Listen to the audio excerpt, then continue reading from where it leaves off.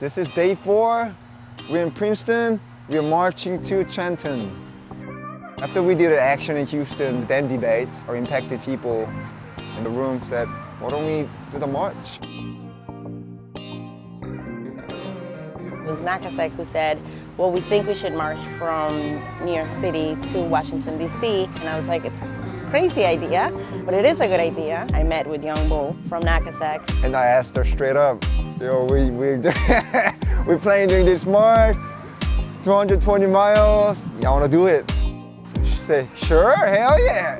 Inspired by their courage, we said yes and we decided to come here and march and do this action together. And it's just been an inspiring space. Our spirit, our people's spirit is so high. I do this because I'm a DACA recipient. I was undocumented for 20 years and I know how important the DACA is in my life and I'm pretty sure another 700,000 young people's life. Home for me is many places. It's where my grandmother is, it's where my mom is, it's where I'm here with my partner. Home is here means to me, uh, it's not about where you came from, it's not about where you're going, it's about where you are. So I'm here now, so this is my home. 이민 단속국을 해체시키고 모든 혈입 이비자에게 시민권을 줍시다.